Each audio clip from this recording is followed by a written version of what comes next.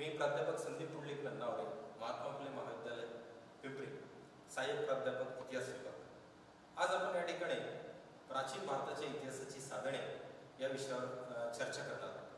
कोणता इतिहास लक्षात घ्यायचा असेल तर तो इतिहास लक्षात घेत असताना प्रामुख्याने त्या इतिहासाची साधने जी आहेत ती साधने लक्षात घ्यावी लागतात. कारण काय? तर इतिहासाची विश्वसनीयता जी आहे तर ती विश्वसनीयता तपासताना त्या साधनांच्या माध्यमातून त्या इतिहासाची विश्वसनीयता आपल्याला तपासावी लागते इतिहास हा प्रामुख्याने आपल्याला इतिहासाचे तीन प्रकार पडतात. ज्याच्यामध्ये प्राचीन भारत मध्ययुगीन भारत आणि आधुनिक भारत.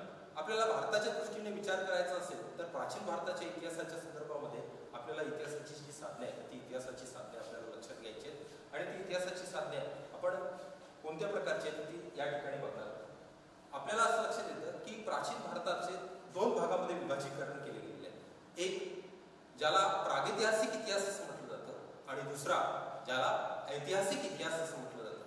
प्रागैतिहासिक इतिहास जो आहे तो प्रागैतिहासिक इतिहास ज्या कालखंडामध्ये इतिहास लिखाणाची कोणतीही साधने उपलब्ध नव्हती तो इतिहास. आणि त्या कालखंडामधील जो इतिहास आहे तो इतिहास लक्षात घेत असताना आपल्याला प्रामुख्याने तत्कालीन कालखंडामधील भौतिक साधनांचाच फक्त आधार घ्यावा लागतो. लिखित साधने त्या कालखंडामध्ये उपलब्ध नसतात. म्हणजे जसं आपण सिंधू संस्कृतीच्या संदर्भामधला जरी विचार केला तरी सिंधू संस्कृतीच्या बाबतीमध्ये आपल्याला एक गोष्ट लक्षात येते की सिंधू संस्कृतीच्या कालखंडामध्ये असणारे इतिहास लिखाणाची जी साधनं आहेत ती साधनं अजूनही आपल्याला वाचता आली नाही ती लिपी जी आहे ती सिंधू लिपी ही डावीकडून उजवीकडे जाणार आहे आणि चित्रात्मक स्वरूपाची लिपी आहे काही लोक त्याला द्रविडियन लिपी लिपी म्हणतात काही लोक सुमेरियन लिपी म्हणतात काही लोक मिश्र लिपी म्हणतात. काही लोक त्याला वेगळ्या वेगळ्या पद्धतीचं नाव नामकरण जे आहे त्या नाम- नामकरण दिलेलं आहे. मात्र अजूनपर्यंत त्याचं इंटरप्रिटेशन किंवा त्याचं आपल्याला ज्याला म्हणतो आपण की त्याचा पूर्णपणे अन्वयार्थ लावणं जे आहे ते अन्वयार्थ लावणं अजूनपर्यंत शक्य झालेलं नाही. म्हणून प्राचीन भारताच्या इतिहासाच्या संदर्भामध्ये आपल्याला लक्षात घ्यावं लागेल की प्राचीन भारताचा इतिहास जो आहे तो दोन भागामध्ये विभागला गेलेला आहे. ज्याच्यामध्ये एक प्रागैतिहासिक इतिहास आणि दुसरा आहे ऐतिहासिक. इतिहास ज्या प्रागैतिहासिक इतिहासामध्ये म्हणजे इतिहास लिखाणाची साधनं उपलब्ध नाहीत मात्र भौतिक साधनांच्या माध्यमातून तो इतिहास लक्षात घेता येतो. दुसरा आहे तर ऐतिहासिक कालखंड. ज्या ऐतिहासिक कालखंडामधील इतिहास लिखाणाची साधनं जी आहेत ती साधनं उपलब्ध आहेत आणि त्या उपलब्ध साधनांच्या माध्यमातून आपल्याला तो इतिहास जो आहे तो इतिहास लक्षात घेता येतो. आणि तो इतिहास आपल्याला लक्षात घ्यायचा या ठिकाणी लक्षात घ्यायचा आहे.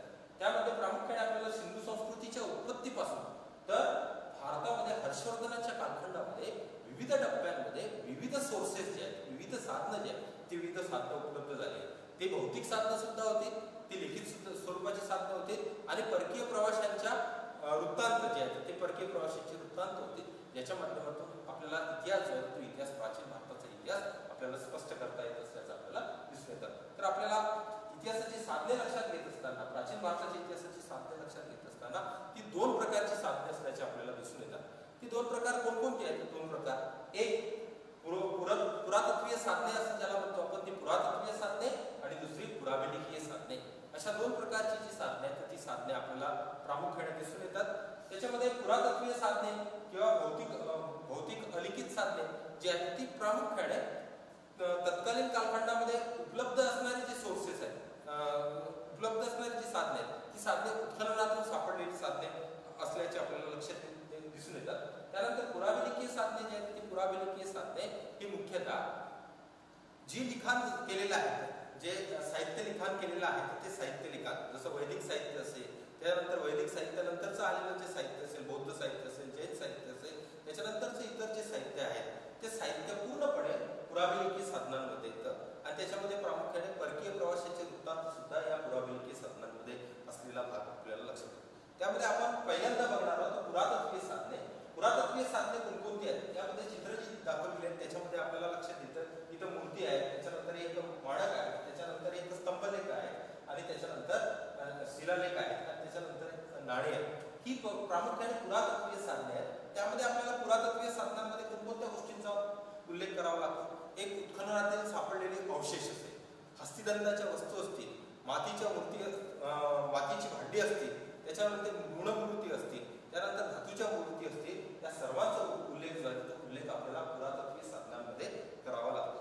त्यानंतर शिलालेख असेल ताम्रपट असेल त्यानंतर स्तंभलेख असेल या गोष्टीचा सुद्धा उल्लेख जो आहे तो आपल्याला पुरातत्वी साधनांमध्ये करावा लागतो. कारण ती पुरातत्वी साधनं ह्या तत्कालीन कालखंडामध्ये इतिहास तो इतिहास आपल्याला माहीत करून तो राजकीय इतिहास असो तो सामाजिक इतिहास असो तो आर्थिक इतिहास असो की तो सांस्कृतिक इतिहास असो किंवा तो धार्मिक इतिहास असो.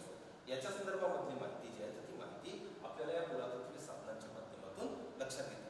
त्यासोबतच आपल्याला असं लक्षात येतं की पुराभिलेखीय साधनांमध्ये असणारी जी माहिती आहे त्या माहितीला विश्वसनीय स्वरूप प्राप्त करून देण्यासाठी मात्र पुरातत्वीय साधनांचा आधार तो आधार घ्यावा लागतो असं आपल्याला दिसून येतं. त्यानंतर आपल्याला दुसरं त्याच्यामध्ये पुरातत्वीय साधनांमध्ये नाणे. हे नाणे तत्कालीन कालखंडामधील आर्थिक परिस्थिती कशी होती? राजाची स्थिती कशी होती? राजाचा कालखंड कोणता होता राजाची राजाच्या कालखंडामध्ये त्याची एकंदरीत आर्थिक स्थिती कशी होती याच्या संदर्भामधली माहिती जी आहे ती माहिती आपल्याला नाण्यांच्या माध्यमातून मिळवता येतात आणि ती सुद्धा पुरातत्वीय साधने म्हणूनच ओळखली जातात. त्यानंतर आपल्याला पुरातत्वीय साधनांमध्ये अजून काही गोष्टींचा उल्लेख करावा लागेल. याच्यामध्ये शिल्पावशेष असतील मूर्ती असतील मूर्ती अवशेष असतील या सुद्धा अत्यंत महत्त्वाच्या असतात. उत्खनन कार्य करत असताना सापडलेल्या ज्या मूर्ती असतात त्या मूर्ती तत्कालीन कालखंडामध्ये सांस्कृतिक स्थिती जी आहे त्या सांस्कृतिक स्थितीवर पूर्णपणे प्रकाश टाकत असल्याचं आपल्याला दिसून येतं. जसं सिंधू संस्कृतीच्या कालखंडामध्ये सापडलेल्या मूर्ती असतील त्या मूर्ती प्रामुख्याने सिंधू संस्कृतीच्या कालखंडामध्ये स्त्री स्त्रियाला स्त्रियांना मानाचं स्थान होतं अशा पद्धतीच्या ते दर्शवतात.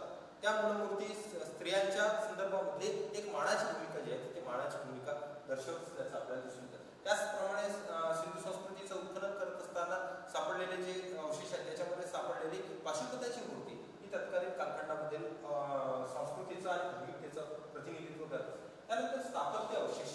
त्याच्यामध्ये प्रामुख्याने लेणी असते मंदिर असते किल्ले असते हे सुद्धा तत्कालीन कालखंडामधील राजकीय परिस्थितीवर आणि धार्मिक परिस्थितीवर प्रामुख्याने भाष्य करत असल्याचं आपल्याला दिसून येतं. म्हणजे आपल्याला असं दिसून येतं की भारत भारतामध्ये असंख्य प्रमाणामध्ये लेण्या आहेत. त्यापैकी महाराष्ट्रामध्ये सुद्धा मोठ्या प्रमाणामध्ये लेण्या जवळपास सातशे आठशेच्या वर लेण्या ज्या आहेत त्या महाराष्ट्रामध्येच असल्याचं आपल्याला दिसून येतं. त्या कोणकोणत्या कालखंडामध्ये त्या लेण्या निर्माण झालेल्या आहेत? याच्या संदर्भामधली माहिती जी आहे माहिती आपल्याला तत्काल त्या त्या ठिकाणी गेल्यानंतर त्या त्या ठिकाणी असणारे जे काही अवशेष आहेत ते अवशेष कोणकोणत्या कालखंडामधले होते याच्या संदर्भामधली माहिती जी आहे ती माहिती आपल्याला मिळते. त्यासोबतच आपल्याला समुद्रातील अवशेष द्वारकेच्या संदर्भामधलं उदाहरण आपल्याला येथे देता येईल की द्वारका ही समुद्राखाली समुद्राखाली गडप झालेली असल्याचं आपल्याला दिसून येतं. मात्र सोबतच आपल्याला दिसेल की ज्यावेळेस उत्खनन कार्य सुरू झालं त्या उत्खनन कार्य किंवा समुद्राखालील अवशेष ज्यावेळेस शोधण्याची सुरुवात झाली त्यावेळेस द्वारकेचे अवशेष जे होते ते समुद्राखालील अवशेष सापडलेत आणि त्यावेळेस द्वारका ही समुद्राखाली गेलेली होती. अशा पद्धतीचं भाष्य जे आहे ते भाष्य इतिहासकारांनी केलं आणि तशा पद्धतीचे पुरावे सुद्धा आपल्याला मिळाले. म्हणजे पुरातत्वीय साधनं जी आहेत ती पुरातत्वीय साधनं तत्कालीन इतिहासाची अत्यंत बारकाईने माहिती जी आहे ती माहिती आपल्याला करून देतात. मात्र त्याचे इंटरप्रिटेशन जे आहे ते इंटरप्रिटेशन किंवा त्याचा अन्वयार्थ जो आहे तो अन्वयार्थ आपल्याला लावावा लागतो. उत्खनन अवशेष या उत्खनन अवशेषामध्ये काय काय अश्मयुगीन मानवापासून ते अगदी गुप्त आणि सातवान कालखंडाच्या मानव समूहापर्यंत आपल्याला याविषयीची बरीचशी माहिती उत्खननातून उपलब्ध होते. म्हणजे प्राचीन भारताचा इतिहास जर आपल्याला बघायचा असेल तर तो प्रामुख्याने या उत्खननाच्या साधनांच्या माध्यमातूनच आपल्याला बघावा लागतो कारण त्याची विश्वसनीयता त्याच्यातूनच तपासता येतं. पुरातत्वी पुराभिलेखीय साधनांच्या माध्यमातून फक्त आपल्याला माहिती मिळतं. मात्र आपल्याला त्याची विश्वसनीयता जी आहे ती विश्वसनीयता कशा येतं पुराभिलेखीय माध्यमातून आपल्याला ते तपासता येतं. उत्खननातून मिळणाऱ्या अवशेषामध्ये अस्थि अवशेषांचा म्हणजे हाडांना अनन्य साधारण असं महत्त्व आहे. कारण हाडांचं जे हाड जे असतात ती सापडलेली जी अस्थि असतात त्या अस्थींचं अवशेष ज्यावेळेस सापडतात त्या अवशेषावरून आपल्याला लक्षात येतं की तो तो कालखंड कोणता होता? त्या हाडांवर या दोन पद्धतीने एक हाडांवर कार्बन चौदा आणि त्याच्यानंतर रेडिओ कार्बन या रासायनिक प्रक्रिया करून त्या काल तो कालखंड कोणत्या कालखंडामधील ती माणसं होती कोणत्या कोणत्या कालखंडामध्ये ते प्राणी होते याच्या संदर्भामध्ये माहिती जी आहे ती माहिती आपल्याला निश्चितपणे कळू शकते आणि त्याच्या संदर्भामध्ये. त्यासोबतच या उत्खनन कालखंडामध्ये उत्खनन करत असताना त्याच्यामध्ये कोणकोणती अवशेष सापडू शकतात? एक मातीची भांडी सापडू शकतात फुटक्या भांड्यांची खापरे सापडू शकतात. ज्या फुटक्या भांड्यांची खापरे मातीची भांडी याच्यावरून तत्कालीन कालखंडामध्ये लोक कोणत्या प्रकारची भांडी वापरत होते? मातीची भांडी होती तर ती कशा पद्धतीची मातीची भांडी होती? ती चिनी मातीची भांडी होती किंवा साधी मातीची भांडी होती याच्या संदर्भामध्ये ती काळ्या मातीची भांडी होती याच्या संदर्भामध्ये माहिती जी ती माहिती आपल्याला या उत्खननातून प्राप्त त्यासोबतच त्या तिथल्या त्या कालखंडामधल्या ज्या स्त्रिया होत्या त्या स्त्रिया कोणकोणत्या दागिने वापरत होत्या कशा पद्धतीचे दागिने वापरत होत्या याच्या संदर्भामध्ये माहिती सुद्धा उत्खननात सापडलेले जे दागिने असतात त्या दागिन्यावरून आपल्याला ती माहिती लक्षात घेता येते. त्याच्यानंतर आपल्याला लक्षात येईल की बांधकामाचे जे अवशेष असेल किल्ला असेल गडी असेल राजवाडा असेल हे सुद्धा अवशेष खनन कार्य केल्यानंतर त्या त्या ठिकाणी कोण होते? कोणाचं अस्तित्व होतं? त्याच्या संदर्भामधली माहिती आपल्याला लक्षात येईल. त्याचं एक बांधकामाच्या अवशेषाचं एक साधं उदाहरण देता येईल आपल्याला की मौर्य कालखंडातील राजधानी जी होती ती पाटलीपुत्र होती. हे कशावरून आपल्याला ओळखता आलं? तिथे जे झालेलं उत्खनन होतं त्या उत्खननात जे सापडलेल्या वस्तू होत्या त्या सापड तिथे सापडलेला जो राजवाडा होता तो मौर्यकालीन राजवाडा होता कारण मौर्यकालीन वास्तुशैलीची एक विशिष्ट विशिष्टता जी होती ती लक्षात आली आणि तो आपल्याला तिथे लक्षात घेता आला. त्यासोबतच आपल्याला मूर्ती. मी तुम्हाला सांगितलं त्याचप्रमाणे की मूर्ती ही ज्या आहेत त्या मूर्त्या धातूच्या मूर्त्या असू असू द्यात दगडाच्या मूर्त्या असू द्यात अशा पद्धतीच्या अनेक मूर्त्या ज्या आहेत त्या मूर्त्या उत्खननातून सापडतात आणि त्या सापडलेल्या मूर्त्या ज्या आहेत त्या मूर्त्या तत्कालीन समाज व्यवस्थेचं ज्ञान जे आहे आणि धार्मिक व्यवस्थेचं आणि सांस्कृतिक व्यवस्थेचं ज्ञान जे आहे ते आपल्याला प्राप्त करून जायचं असल्याचं दिसून भारतीय इतिहासात उत्खनन अवशेषाचे महत्त्वपूर्ण भाग म्हणजे काय काय? तर आपल्याला दिसून येईल की मूळतः सिंधू संस्कृती एकोणीसशे बावीसपासून राखलदास दयाराम साहनी आणि राखलदास बॅनर्जी यांच्या नेतृत्वाखाली हडप्पा आणि मोहिंजोदडो या ठिकाणी उत्खनन कार्य झालं. मात्र याची सुरुवात जी आहे ती सुरुवात कोणी केली असेल तर ती सर जॉन मार्शल यांनी एकोणीसशे एकवीसमध्ये ज्यावेळेस अं, जाणारा रेल्वे मार्ग टाक टाकण्याचे काम सुरू होतं त्यावेळेस त्या ठिकाणी जे उत्खनन झालेलं होतं त्या उत्खनन झालेल्या ठिकाणी त्यांना मोठ्या प्रमाणात विटांचे जे तुकडे आहेत ते विटाचे तुकडे सापडले विटा सापडल्यात यावरून त्यांना एक गोष्ट लक्षात आली की या ठिकाणी काहीतरी आहे. म्हणून त्यांनी काय केलं? त्या ठिकाणी उत्खनन कार्य जे आहे ते उत्खनन कार्य करण्याची सुरुवात केली. आणि त्याची सुरुवात झाली एकोणीसशे बावीसपासून आपल्याला असं लक्षात येतं की ते मोठ्या प्रमाणात एकोणीसशे एकवीसपासून सुरुवात झाली. एकोणीसशे बावीसपासून मोठ्या प्रमाणात त्याची सुरुवात झाली. आणि एकोणीसशे बावीस ते एकोणीसशे पंच्याऐंशी पंच्याऐंशी पर्यंत जे उत्खनन झालं त्याच्यामध्ये मोठ्या प्रमाणामध्ये सिंधू कालीन संस्कृतीचे अस्तित्व जे आहेत अवशेष जे आहेत ते अवशेष त्या ठिकाणी सापडल्याचं आपल्याला दिसून येतात मोहिंजोदडो असेल हडप्पा असेल त्यानंतर राजस्थानमधील अं, असेल गुजरातमध्ये लोथल असेल पंजाबमध्ये रोपड असेल अशा पद्धतीची अनेक शहरं होती ती शहरं सिंधू संस्कृतीचं प्रतिनिधित्व करणारी शहरं होती.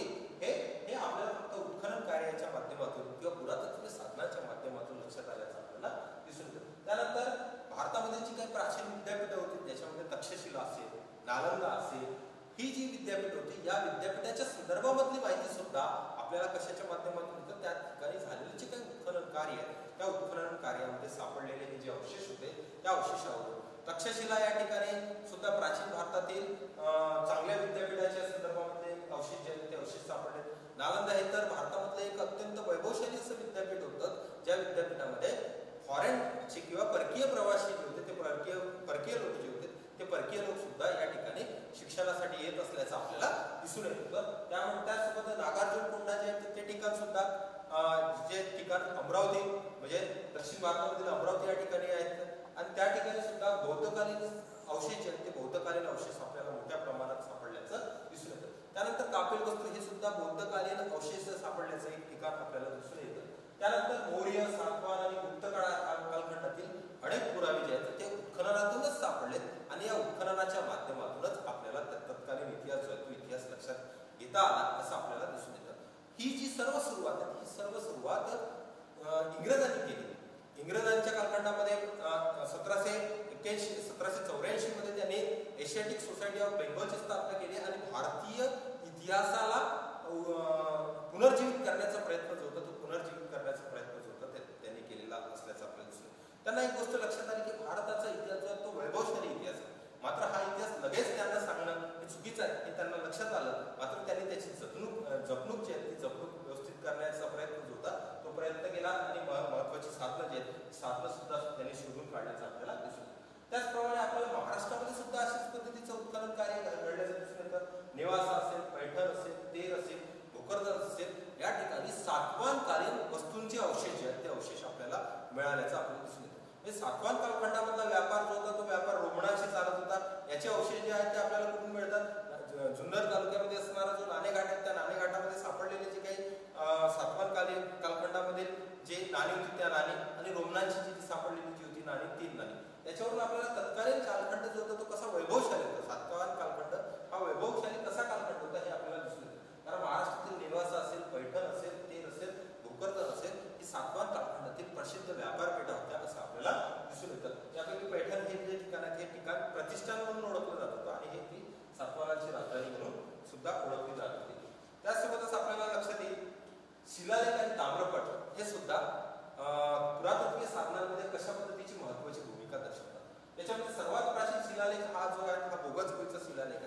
शिलालेख जे आहेत हे तत्कालीन कालखंडातील राजा आणि त्या राजांच्या आज्ञा आणि त्या राजांच्या संदर्भामधली इतर माहिती जी आहे त्या इतर माहितीच्या संदर्भामधली अ, इतर माहिती जी आहे ती माहिती या शिलालेखांमधून आपल्याला स्पष्ट होत असल्याचं आपल्याला दिसून येतं तर प्रा- सर्वात प्राचीन शिलालेख जो होता तो गोगाजकीचा शिलालेख आपल्याला दिसून येतो त्यासोबतच आपल्याला दिसून येतं की सर्वात महत्त्वाचे जे शिलालेख आहेत ते शिलालेख भारतामध्ये अ, सम्राट अशोकाच्या कालखंडामध्ये ते दिसून येतात सम्राट अशोकाच्या कालखंडामध्ये प्राचीन भारतामधले जे शिलालेख आहेत हे जवळपास चौऱ्याऐंशी हजार शिलालेख त्यांनी निर्माण केलेले होते विविध ठिकाणी राजाज्ञा असेल विविध ठिकाणी जनतेला दिलेल्या सूचना असतील जनतेने जन जनतेसाठी दिलेली नियमावली असेल या सर्वांचा उल्लेख जो तो शिलालेखांमध्ये येत असल्याचं आपल्याला दिसून येतं त्यासोबतच सातवान काळातील शिलालेख जो आहे तो जुन्नर जवळील नाणेघाटामध्ये आपल्याला तो शिलालेख दिसून येतो. तो शिलालेख सातवान कालखंडामधील व्यापार आणि सातवान कालखंडामधील राजा राजाच्या संदर्भामध्ये माहिती देत होतो. त्याच्यामध्ये नागरिकांचा शिलालेख हा सुद्धा अतिशय महत्त्वाचा आहे. त्यासोबतच पितळ पितळखोर लेण्यामधील शिलालेख हे सुद्धा सातवान कालखंडामधील महत्त्वाचे शिलालेख म्हणून ओळखले जातात. त्यानंतर गुप्त कालखंडामधील अलाहाबाद प्रशस्ती शिलालेख हा सुद्धा एक महत्त्वाचा शिलालेख म्हणून ओळखला जातो. कारण गुप्त कालखंडातील अलाहाबाद प्रशस्ती शिलालेख जो आहे तो शिलालेख हरिशेन यांनी लिहिलेला होता. आणि समुद्रगुप्ताचं दिग्विजय संदर्भामधलं जे धोरण आहे त्या दिग्विजय संदर्भामधल्या धोरणाच्या संदर्भात म्हणजे त्याचा दिग्विजय त्याने उत्तर भारतामध्ये आणि दक्षिण भारतामध्ये कशा पद्धतीचा विजय प्राप्त केलेला होता या संदर्भामधलं सविस्तर वर्णन जे आहे ते सविस्तर वर्णन अलाहाबाद प्रशस्ती शिलालेखामध्ये दिसून येतात त्यालाच हरिसेन प्रशस्ती असं सुद्धा म्हटलं जातं. त्यानंतरचं आपल्याला दिसून येतं की राष्ट्रकूट कालखंडामध्ये नांदेड जिल्ह्यामधील कंधार जे त्यानंतर त्या ठिकाणी सुद्धा राष्ट्रकूट का- कालखंडामधील शिलालेख जे आहेत ते शिलालेख उपलब्ध झाल्याचं आपल्याला दिसून येतात हे शिलालेख प्राचीन भारताच्या पुरातत्वीय साधनांमध्ये अत्यंत महत्वाची भूमिका दर्शवत असल्याचं आपल्याला दिसून येतं त्याच्यानंतर आपल्याला लक्षात येईल की ताम्रपट. हे ताम्रपट म्हणजे काय? किंवा ताम्रपटाचा उपयोग काय होता? ताम्रपट कशासाठी उपयोगात आणले जात होते? आणि ताम्रपटाचं पुरातत्वीय साधनांमध्ये कशा पद्धतीचं महत्त्व होतं? ताम्रपट हे सुद्धा पुरातत्वीय साधनांमध्ये अत्यंत महत्वाची भूमिका दर्शवत असल्याचं आपल्याला दिसून येतात कारण ताम्रपटामध्ये प्रामुख्याने त्या राजाने एखाद्या ब्राह्मणाला दिलेले जे दान असेल त्या दानाच्या संदर्भामधला उल्लेख जो होता तो उल्लेख त्या ताम्रपटामध्ये आलेला आहे. शिलालेखाप्रमाणेच ताम्रपटातून सुद्धा इतिहासाची विश्वसनीयता आहे ती विश्वस विश्वसनीयता तपासली जाऊ शकते. आणि आतापर्यंत अशा पद्धतीचे अनेक ताम्रपट जे आहेत ते ताम्रपट भारतामध्ये उपलब्ध झालेले आहेत. आणि याची भूमिका कशी आहे? त्यामध्ये आपल्याला जर दिसून येते की ताम्रपट कशा पद्धतीचं असू शकतं ते ते- ते या चित्रामध्ये दाखवलेलं आहे. सोबतच आपल्याला लक्षात येईल ताम्रपट व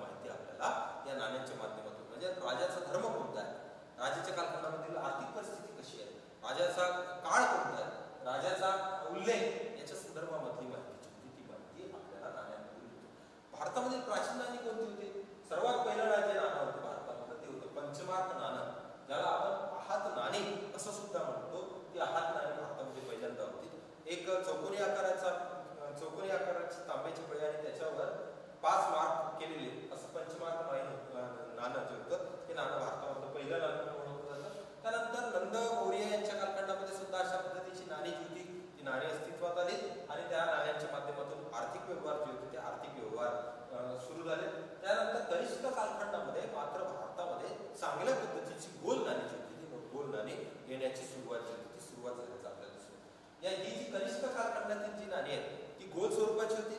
त्याच्यावर राजाचा उल्लेख राजाचा उल्लेख होता राजाचं चित्र होतं आणि एका साईडला एक धार्मिक प्रतीक म्हणून एका एखाद्या देवतेचं चित्र जे होतं ते चित्र चित्रित केलेलं होतं. म्हणजे एकंदरीत त्या राजाचा कालखंड त्या तो राजा कोणता आहे? तो आणि त्याची धार्मिक स्थिती याच्या संदर्भामधली माहिती ही कनिष्क कालखंडामधील नाण्याच्या माध्यमातून आपल्याला दिसून येते. त्यानंतर सातवाहनकालीन नाणी आपल्याला जुन्नर तालुका जुन्नर तालुक्यामध्ये नाणेघाट या ठिकाणी मोठ्या प्रमाणात मिळतं. प्रतिष्ठान म्हणजे पैठण या ठिकाणी मोठ्या प्रमाणात भोकरदन या ठिकाणी उत्खनन ज्यावेळेस तिथलं उत्खनन मोठ्या प्रमाणात करण्यात आलं त्यावेळेस अशा सातवा कालखंडातील नाणी जी होती ती नाणी सापडल्याचं आपल्याला दिसून येतं. कारण सातवानांचा जो व्यापार होता तो व्यापार थेट कोणाशी चालत होता रुग्णांशी तो व्यापार चालत होता. त्याच्यामुळे ती नाणी जी आहेत ती नाणी आपल्याला मोठ्या प्रमाणात दिसून येतात. त्यानंतर गुप्तकालीन नाणी. गुप्त कालखंड हा तर भारतामधील सुवर्ण कालखंड होता. असं म्हटलं जातं की गुप्तांच्या कालखंडामध्ये सुवर्ण नाणी जी होती ती सुवर्ण नाणी सुद्धा काढली गेलेली होती. त्याचे पुरावे सुद्धा उपलब्ध झाले आहेत आणि ती उत्खनन कार्यामध्ये ती सापडून सुद्धा आलेले आहेत. म्हणजे गुप्त कालखंडामधील वैभवशाली स्थितीचं प्रतिनिधित्व करणारी ही नाणी जी आहे ती नाणी दिसून येतात आणि पुरातत्वीय साधनांमध्ये महत्त्वाचा सोर्स म्हणून त्याचा उपयोग जर उपयोग केला जात असल्याचं आपल्याला दिसून त्यासोबतच शिल्पावशेष व मूर्ती अवशेष हे सुद्धा अत्यंत महत्वाची भूमिका दर्शवत असतात. दगडावरील कोरीव कामाच्या स्वरूपात अशा असंख्य शिल्पावशेष आपल्याला भारतामध्ये मोठ्या प्रमाणामध्ये सापडून आलेले आहेत. आणि अशा पद्धतीचे शिल्पावशेष सापडलेले जे शिल्पावशेष आहेत ते एखाद्या पुरातत्वीय संग्रहालयामध्ये जे आहेत ते संग्रहालयामध्ये संग्रहित करून ठेवलेले दिसून येतात. आणि ते तत्कालीन कालखंडाचं प्रतिनिधित्व करतात त्याची कोरीव काम त्याच्यावरची त्याच्यावरचं केलेलं कोरीव काम जे आहे ते तत्कालीन कालखंडामधला जी सांस्कृतिक वैभवशालीता जी आहे ती सांस्कृतिक वैभवशालीता दर्शवत असल्याचं आपल्याला त्या काल त्या कालखंडातील प्रभाव आपल्याला दिसून येतो. मी सांगितल्याप्रमाणे त्या त्या कालखंडामध्ये मौर्यकालीन शिल्पकला मौर्य साम्राज्याच्या इतिहासाची प्रभावी एक प्रभावीपणे प्रतिनिधित्व करणारी कला आहे. मौर्य कालीन शिल्पकला हे सुद्धा आपल्याला त्याच्यामध्ये लक्षात येईल त्यानंतर आपल्याला लक्षात घ्यायचं आहे पुराभिमुखी साधने भारताच्या इतिहासामध्ये ज्या पद्धतीने ही साधनं महत्वाची पुरातत्वीय साधनं महत्वाची ज्या पुरातत्वीय साधनांच्या माध्यमातून इतिहासाची विश्वसनीयता तपासता येते त्याच पद्धतीने आपल्याला लक्षात येतं की पुराभिमुखी साधने सुद्धा भारताच्या इतिहासामध्ये अत्यंत महत्वाची भूमिका दर्शवतात. म्हणजे तो इतिहास प्रत्यक्षपणे मांडण्याची जी मांडण्यासाठी पुराभिलेखी साधनांचा उपयोग जो आहे तो पुराभिलेखी साधनांचा उपयोग आपल्याला इथे करून घ्यावा लागतो सिंधू संस्कृतीपासून तर इकडे आधुनिक कालखंडापर्यंत अशा पद्धतीची अनेक पुरा पुराभिलेखी साधने आपल्याला उपलब्ध झाल्या आहेत. मात्र आपल्याला फक्त अभ्यास जो करायचा तर तो आपल्याला प्राचीन भारताच्या अनुषंगाने करायचा तर प्राचीन भारताच्या अनुषंगाने असणारी पुराभिलेखी साधने कोणकोणती प्राचीन भारताच्या प्राचीन भारतीयांचे लिखाण हा एक पुराभिलेखी साधनांचा एक महत्त्वाचा आधार आहे. म्हणजे पुराभिलेखी साधनांचं दोन भागामध्ये विभाजीकरण केलं जातं. एक प्राचीन भारतीयांचे लिखाण दुसरं परकीयांचे निकाल या दोन भागामध्ये पुराभिलेखी साधनं जी आहेत ती पुराभिलेखी साधनं आपल्याला लक्षात घ्यावी लागतात. त्याच्यामध्ये प्रामुख्याने आपल्याला लक्षात येईल की सिंधू कालखंडामध्ये मी सिंधू कालखंडामध्ये लिपी होती. मात्र ती लिपी कोणालाही वाचता आली नाहीत आणि सलग अशा पद्धतीने कोणतेही लिखाण जे आहे ते लिखाण करून ठेवलेलं तिथं दिसत नाही. मात्र खऱ्या अर्थाने भारतामध्ये लिखाणाची जी सुरुवात आहे किंवा प्राचीन भारताच्या इतिहास लिखाणाची सुरुवात आहे ती वैदिक वाङ्मयापासून किंवा वैदिक साहित्यापासून आपल्याला दिसून येतात. वेद वाङ्मय ज्याला म्हणतो आपण वेद वाङ्मयापासून आपल्याला ते दिसून येतात. सर्वात प्राचीन ग्रंथ असलेला आपला ऋग्वेद या ऋग्वेदापासून ऋग्वेद जो संस्कृत संस्कृत भाषेमध्ये लिहिला गेलेला आहे तो वेद वाङ्मयामध्ये ग्रंथ आपल्याला त्याच्यामध्ये प्रमुख मानला जातो. सं- वेद त्याच्यामध्ये ऋग्वेद असेल यजुर्वेद असेल सामवेद असेल अथर्ववेद असेल उपनिषदके असतील ब्राह्मण्यके असतील आरण्यके असतील उपनिषदके असतील पुराणे असतील महाकाव्य असतील स्मृती असतील या सर्व गोष्टीचा उल्लेख जो आहे तो उल्लेख आपल्याला याच्यामध्ये करावा लागतो. म्हणजे वैदिक सांग- वैदिक वाङ्मयामध्ये किंवा वेद वाङ्मयामध्ये या सर्व गोष्टींचा उल्लेख जो आहे तो उल्लेख त्यानंतर बौद्ध वाङ्मय बौद्ध वाङ्मय सुद्धा भारतीय इतिहासाचा अत्यंत महत्वाचं साधन म्हणून बौद्धकालीन स्थिती बौद्धकालीन कालखंडामध्ये असणारे एकंदरीत समाज जीवन सांस्कृतिक जीवन धार्मिक जीवन राजकीय जीवन याच्या संदर्भामध्ये माहिती जी आहे ती बौद्ध वाङ्मयातून आपल्याला मिळते त्यासोबतच जैन वाङ्मय सुद्धा त्याचे जैन वाङ्मयमध्ये सुद्धा त्याच पद्धतीची माहिती आपल्याला मिळते. चरित्र कथा त्यानंतर कथा कादंबरी नाटक महाकाव्य हे सुद्धा भारतामधील प्राचीन इतिहास लिखाणाची महत्वाची साधनं म्हणून आपल्याला ओळखता येते. त्यासोबत परकीय लिखाणामध्ये परकीय प्रवाशांचे प्रवास वर्णन आणि परकीय देशांच्या इतिहासातील भारतीय विषयांचा उल्लेख याच्या संदर्भामधली माहिती सुद्धा आपल्याला त्याच्यामधून लक्षात घेता येते. सोबतच आपल्याला काही गोष्टी याच्यामधून लक्षात येतात. वैदिक वाङ्मयामध्ये. प्रामुख्याने ऋग्वेद यजुर्वेद अथर्ववेद सामवेद या चार वेदांचा उल्लेख जो आहे तो वेदांचा उल्लेख प्रामुख्याने वेदकालीन अभ्यासकांच्या मध्ये प्रमुख आहे. ऋग्वेदाकाल ऋग्वेदाकालीन संस्कृती जी आहे ती ऋग्वेदकालीन संस्कृती आणि उत्तर वैदिककालीन संस्कृती. अशा दोन संस्कृतींचा उल्लेख जो आहे तो वैदिक संस्कृतीमध्ये येत असतो. वैदिक संस्कृतीचे जे दोन भाग असतात त्याच्यामध्ये ऋग्वेदाची रचना जो काल ऋग्वेदाची रचना ज्या वेळेत झाली तो कालखंड म्हणजे ऋग्वेदकालीन कालखंड. ज्यामध्ये प्रामुख्याने आपल्याला असं दिसून येतं की ऋग्वेद कालखंडामध्ये सामाजिक परिस्थिती कशी होती राजकीय परिस्थिती कशी होती आर्थिक परिस्थिती कशी होती धार्मिक परिस्थिती कशी होती याच्या संदर्भामध्ये सर्व उल्लेख जे आहेत ते सर्व उल्लेख याच्यामधून ऋग्वेद येतो येत असल्याचं आपल्याला दिसतं. त्यानंतर यजुर्वेद अथर्वेद आणि सामवेद जे आहेत या चारही वेदांच्या या तीनही वेदांच्या कालखंडामध्ये पुन्हा आपल्याला दिसून येत की उत्तर वैदिक कालीन संस्कृतीचा कालखंड जो आहे तो कालखंड सुरू झालेला आहे त्याच्यामध्ये प्रामुख्याने वैदिक कालखंडानंतर बदलती जी स्थिती आहे ती बदलती स्थिती त्याच्यामध्ये दर्शवलेली गेल्याचं आपल्याला दिसून येतं. म्हणजे समाज व्यवस्थेमध्ये बदल होत गेलेले आहेत अर्थव्यवस्थेमध्ये बदल होत गेलेले आहेत राजव्यवस्थेमध्ये सुद्धा बदल होत गेलेले असल्याचं आपल्याला दिसून येतात आणि याच वैदिक वाङ्मयामध्ये मग आपल्याला आरण्यक येतात ब्राह्मण्यक येतात उपनिषदके येतात पुराणे येतात महाकाव्य येतात आणि स्मृती येतात. या सर्वांचा उल्लेख म्हणजे सुद्धा वैदिक वाङ्मयामध्ये आपल्याला करावा लागतो असल्याचं आपल्याला दिसून येतं. त्याच्यामध्ये रामायण आणि महाभारत ही सुद्धा महत्वाची साधनं म्हणून ओळखली जातात. रामायण हे एक महत्वाचं साधन आहे. महाकवी वाल्मिकीने रचलेलं रामायण हे जे आहे ते आदिकाव्य म्हणून ओळखलं जातं. आणि या रामायणामध्ये राम आणि रामाच्या कालखंडामध्ये राम हा एक कसा व्यक्ती होता आणि रामाच्या कालखंडामध्ये एकंदरीत राजकीय स्थिती कशी होती?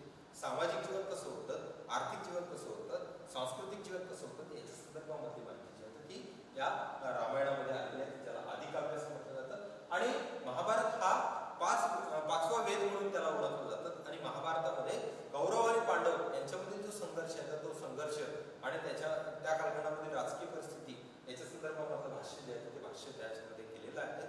मानवी बदलत्या मानवी प्रवृत्तीचं भाष्य जे आहे बदलत्या मानवी प्रवृत्तीचं भाष्य रामायण आणि महाभारत या दोन्ही महाकाव्यामध्ये आपल्याला दिसून येतं. त्यामध्ये त्यानंतर स्मृती आणि स्मृती ग्रंथ हे दोन सुद्धा अतिशय महत्त्वाचे आहेत. याज्ञवल्क स्मृती असेल नारद स्मृती असेल पाराशर स्मृती असेल या स्मृती अत्यंत महत्वाची विष्णू स्मृती असेल या स्मृती अत्यंत महत्वाची भूमिका ज्या आहेत त्या भूमिका बजावत असतात. मनुस्मृतीला तर हिंदू धर्मग्रंथ हिंदू हिंदूंची कायदेसंहिता असं सुद्धा म्हटलं गेलं होतं प्राचीन भारताच्या कालखंडाच्या अनुषंगाने बोलतो आपण. तर म्हटलं जात होतं आणि या सर्व ज्या स्मृती आहेत या स्मृतीच्या माध्यमातून तत्कालीन जीवन जे आहे ते जीवन कशा पद्धतीचं होतं याच्या संदर्भामधली माहिती जी आहे ती माहिती आपल्याला प्राप्त. होतो त्यानंतर सूत्राच्या बाबतीमध्ये आपल्याला विचार केला तर धर्मसूत्र कल्पसूत्र स्रोतसूत्र आणि गृह्यसूत्र. ही सूत्र जी आहेत ही सूत्र सुद्धा तत्कालीन कालखंडामध्ये धार्मिक जीवनावर तत्कालीन कालखंडामध्ये सामाजिक जीवन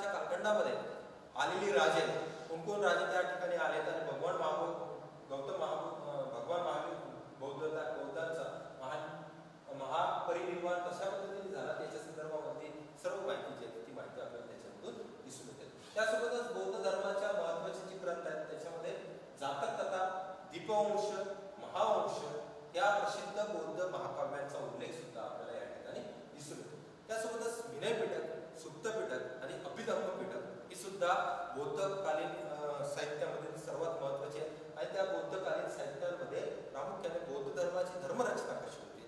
बौद्ध धर्माचा प्रसार कसा झाला? आणि बौद्ध धर्माच्या कालखंडामध्ये समाज जीवन कसं होतं? याच्या संदर्भामधला उल्लेख जातो उल्लेख आलेला दिसतो जातक कथांमध्ये आपल्याला प्रामुख्याने भगवान गौतम बुद्धाच्या कालखंडाच्या पूर्वीचा भाग भगवान गौतम बुद्धांचा कालखंड आणि भगवान गौतम बुद्धाच्या नंतरचा कालखंड अशा पद्धतीचा सर्व समावेश तो त्या जातक कथांमध्ये आलेला आहे. दीपवंश महावंश हे सुद्धा त्यांच्या खूप महत्त्वाचे साहित्य जैन साहित्यामध्ये कल्पसूत्र जैन भागवती सूत्र आणि परिशिष्ट पर्व हे सुद्धा अत्यंत महत्वाची भूमिका दर्शवणारे जैन साहित्य असल्याचं आपल्याला दिसून येतं. आणि ही जैन साहित्य प्रामुख्याने या जैन साहित्यामधून सुद्धा तो उल्लेख जो आहे तत्कालीन कालखंडामध्ये जैन सामाजिक स्थिती आर्थिक स्थिती आणि धार्मिक स्थिती कशी होती याच्या संदर्भामधली माहिती सुद्धा आपल्याला लक्षात येते. त्यानंतर सर्वात महत्त्वाचा जो भाग आहे तो भाग म्हणजे चरित्र ग्रंथ तत्कालीन कालखंडामध्ये चरित्र ग्रंथ प्राचीन भारताच्या इतिहासाच्या संदर्भामध्ये ही चरित्र ग्रंथ अत्यंत महत्वाची भूमिका दर्शवत असल्याचं आपल्याला दिसून येतं. जसं ही चरित्र ग्रंथ तत्कालीन परिस्थिती कशी होती आणि त्या तत्कालीन परिस्थितीमध्ये राजा कशा पद्धतीचं जीवन जगत होता सामाजिक स्थिती कशी होती धार्मिक स्थिती कशी होती याच्या संदर्भामधला उल्लेख केला अश्वघोषाचं बौद्ध चरित्र हे सर्वात महत्वाचं साहित्य त्या कालखंडामधलं आहे. आणि त्याला चरित्र ग्रंथ असं म्हटलं जातं. बाणभट्टाने बाणभट्टाचे बाणभटाचे हर्षचरित्र जे हर्षवर्धन हर्षवर्धन सम्राट हर्षवर्धनाच्या कालखंडामध्ये राजकीय स्थिती सामाजिक स्थिती आर्थिक स्थिती याच्या संदर्भामध्ये संपूर्ण माहिती जी आहे ती आपल्याला हर्षवर्धन हर्षचरित्रामध्ये आणि हर्षवर्धनाचा एकंदरीत कालखंड कसा होता? राजा हर्षवर्धन कसा होता? सम्राट हर्षवर्धन कसा होता? त्याच्या संदर्भामधला उल्लेख करतो हर्षचरित्रामध्ये त्यानंतर कन्नूरचा यशुधर्म हा सुद्धा एक महत्त्वाचा ग्रंथ आहे. बिल्लना बिल्लन विल्लनाने निर्माण केलेला चालुक्य राजा विक्रमादेवाचे चरित्र हे सुद्धा एक महत्वाचं आहे त्यानंतर कुमारपाल जयसिंहाचे चरित्र आणि बल्लाळ भोजराज याचं चरित्र हे चरित्र अत्यंत महत्वाची भूमिका दर्शवत असल्याचं आपल्याला दिसून येतात. त्यानंतर कथा व कादंबरी देखील इतिहासाचे महत्त्वाचे साधन म्हणून ओळखले जातात. त्याच्यामध्ये जातक कथा असेल पंचतंत्र कथा असते इसापनीतीच्या कथा असतील या सर्व गोष्टी ज्या आहेत त्या तत्कालीन कालखंडामधील व्यवस्थेची माहिती देणाऱ्या कथा म्हणून ओळखल्या जातात. जातक कथा आणि पंचतंत्र कथा या तर भारतीय इतिहासामध्ये अत्यंत महत्वाची इतिहासाची साधनं म्हणून जे आहेत ते इतिहासाची साधनं म्हणून ओळखली जात असल्याचं आपल्याला दिसून त्यानंतर महाकाव्य. महाकाव्यामध्ये रामायण महाभारत दीपवंश महावंश ही महाकाव्य इतिहासाची साधने म्हणून त्यानंतर कालिदासांचं मेघदूत हे जे आहे हे साहित्य सुद्धा अत्यंत महत्वाची भूमिका दर्शवतं. कृती कुमार संभव आणि रघुवंश हे देखील साहित्य जे आहे ते साहित्य भारतीय इतिहासामध्ये अत्यंत महत्वाचं साहित्य म्हणून ओळखलं जातं. त्यानंतर चरित्र ग्रंथामध्ये शास्त्रीय ग्रंथांमध्ये कौटिल्याचे अर्थशास्त्र हे मौर्यकालीन इतिहासाचं सर्वात महत्वाचं साधन जे आहे ते साधन म्हणून ओळखलं जातं. कारण मौर्यकालीन इतिहासाच इतिहासामध्ये राजांची माहिती असेल मौर्य कालखंडातील अर्थव्यवस्था असेल मौर्य कालखंडामध्ये राजकीय व्यवस्था असेल मौर्य कालखंडामध्ये समाज व्यवस्था असेल याच्या संदर्भामध्ये इतंभूत माहिती जी आहे ती अर्थशास्त्रामध्ये आल्याचं आपण दिसतो. राजांनी कशा पद्धतीने आपला राज्यकारभार केला पाहिजे? राजांचे मित्र कोण असले पाहिजेत? राजांचे शत्रू कोण असले पाहिजे शत्रूशी कसं वागलं पाहिजे? मित्राशी कसं वागलं वागलं पाहिजे? या संदर्भामध्ये सर्व उल्लेख जे आहेत ते अर्थशास्त्रामध्ये आल्याचं आपल्याला दिसून येतात. म्हणजे तो एक विश्वकोश राजनीती आणि राजव्यवस्था अर्थव्यवहार या सर्वांचं ज्ञान देणारा तो एक महत्त्वाचा ग्रंथ म्हणून ओळखला ज्याला शास्त्रीय ग्रंथ.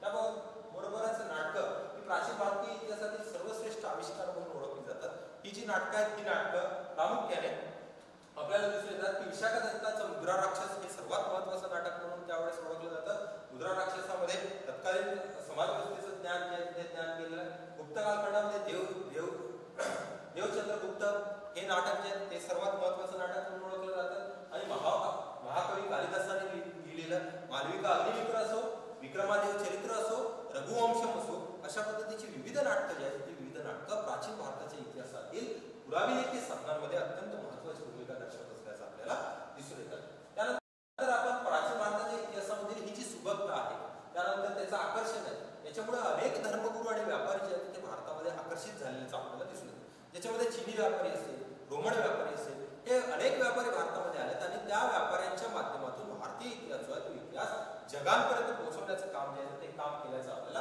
दिसतो. याच्यामध्ये परकीय प्रवासी कोणकोणते परकीय प्रवासी भारतामध्ये आले?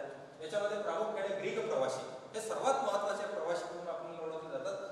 अलेक्झांडर सिकंदरच्या कालखंडामध्ये अलेक्झांडर सिकंदर ज्यावेळेस भारतावर भारतामध्ये आला आणि त्यांनी भारतावर ज्यावेळेस आक्रमण केलं इसवी सन पूर्व तीनशे सव्वीसमध्ये त्यावेळेस भारतामध्ये आलेले जे इतिहासकार होते त्या इतिहासकाराने सुद्धा भारतीय इतिहास तो इतिहास घेऊन त्यानंतर आपल्याला मोर्यांच्या कालखंडामधला जर इतिहासाचे परकीय इतिहासामध्ये बघायचं असेल तर मेगिस्थिनीसने लिहिलेला जो इंडिका ग्रंथ आहे हा मौर्य कालखंडामध्ये इतिहास जो आहे तो इतिहास स्पष्टपणे लोकांपर्यंत मांडण्याचं काम जे आहे आणि विश्वसनीयपणे मांडण्याचं काम जे आहे तर ते मेगिस्तान मेगिस्थिनच्या इंडिका या ग्रंथामधून केल्याचं आपल्याला त्यासोबतच फ्रेबो असेल प्लिनी असेल यांच्यासारखे इतिहासकार सुद्धा भारतामध्ये आले. त्यानंतर ग्रीक इतिहासकारानंतर चिनी प्रवासी भारतामध्ये आल्याचं आपल्याला दिसून येतं. आणि हे चिनी प्रवासी आणि यांच्या माध्यमातून भारतामध्ये जे आलेले जे चिनी प्रवासी होते या चिनी प्रवाशांनी भारतामधील एकंदरीत धार्मिक संरचना त्यानंतर शैक्षणिक पार्श्वभूमी याच्या संदर्भामधली माहिती जी होती राजकीय पार्श्वभूमी याच्या संदर्भामधली माहिती जी होती ती माहिती जगापर्यंत पोहोचवण्याचं काम जे होतं ते काम केल्याचं आपल्याला दिसलं. तर या संपूर्ण प्राचीन भारताच्या इतिहासामध्ये ही सर्व महत्वाची साधनं म्हणून आपल्याला ओळखल्या जातात आणि याचा आपला सारांश जर बघायचा असेल तर इतिहास काळामध्ये काळाच्या अभ्यासाच्या दृष्टीने प्राचीन औद्योगिक आणि अर्वाचीन आणि आधुनिक असे जे काही भाग पाडले जातात या सर्वांमध्ये प्रामुख्याने ही जी साधनं आहेत ही साधनं महत्वाची भूमिका दर्शवत असल्याचं आपल्याला दिसून येतात. ज्याच्यामध्ये लिखित साधनं आणि अलिखित साधनं. लिखित साधनांमध्ये प्रामुख्याने भारतामध्ये वैदिक वाङ्मयापासून बौद्ध वाङ्मय जैन वाङ्मय त्याच्यानंतर कथा चरित्र याच्या संदर्भामधला उल्लेख केला जातो आणि प्रवास परकी प्रवाशांचं वृत्तांत याच्या संदर्भामधला